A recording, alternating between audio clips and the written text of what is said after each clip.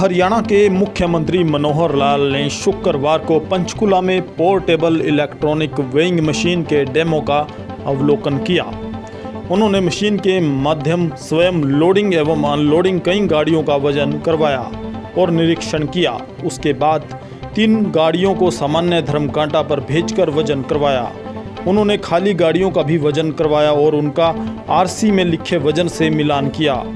मुख्यमंत्री ने कहा कि इस पोर्टेबल इलेक्ट्रॉनिक वेइंग मशीन से वज़न करवाकर आंकड़े एकत्रित किए जा सकते हैं, जो वास्तविक आंकड़ों से मेल किए जाएँगे। यदि उनका उपयोग सही रहा और आंकड़े ठीक हुए तो यह प्रदेश के लिए बहुत ही लाभदायक साबित होगा।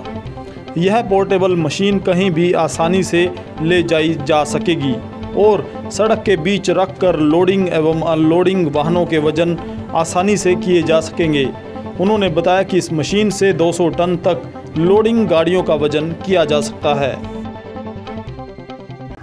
देखिए, अभी ट्रांसपोर्ट डिपार्टमेंट की ओर से कुछ वेइंग मशीन्स का खरीदने का एक विषय चल रहा था तो इसको डेमो के रूप में देखने की जब विषय आया तो मैंने स्वयं अपने आप कहा कि मैं स्वयं डेमो देखूँगा। आज उनका डेमो देखा है। अभी उसकी एक्चुअल वेट क्या है और उनकी मशीन के द्वारा वेट कितना किया जा रहा है वेइंग मशीन के द्वारा?